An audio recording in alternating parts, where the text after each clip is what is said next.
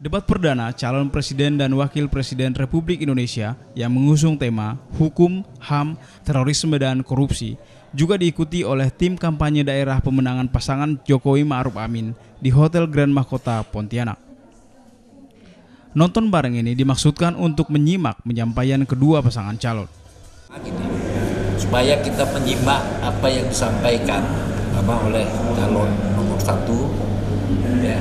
karena ini sangat dimungkinkan untuk dipelintir nah, sehingga kita harus menyimak itu maksudnya seperti apa ya.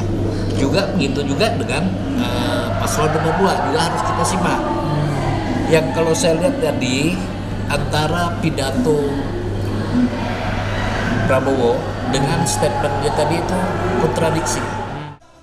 Dari debat ini juga, tim nantinya dapat menjawab secara tuntas apa yang menjadi permasalahan di masyarakat.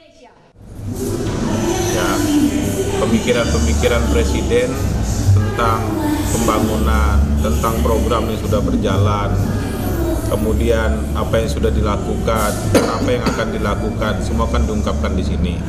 Kami tentu sebagai tim kampanye daerah nanti sebagai penyambung lidah presiden, pemikiran-pemikiran presiden kepada masyarakat apalagi seperti saya caleg Bang Hendy caleg Pak Jimmy caleg ketika kita bertemu dengan konstituen kita jelaskan apa yang disampaikan secara objektif yang disampaikan tadi oleh Pak Jokowi ketika debat jadi eh, kami memang dituntut untuk menyimak gitu.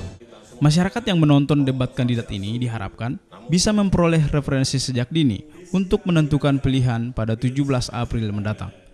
Anugerah Indaksia, Kompas TV Pontianak.